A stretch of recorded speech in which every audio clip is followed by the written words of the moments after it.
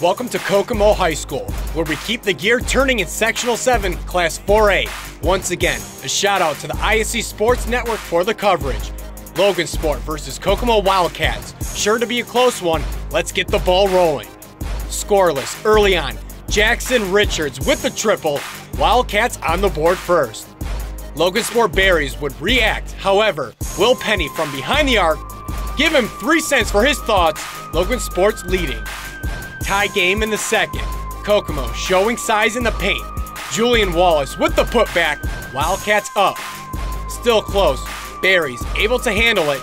Penny with the strong finish. A back and forth affair in this one. Beating the zone. Tucker Platt plows through the paint for two. Tied at 50 in the fourth. Wildcats trying to claim the prize. From mid-range, Deonta Chamberlain gets the roll off the metal.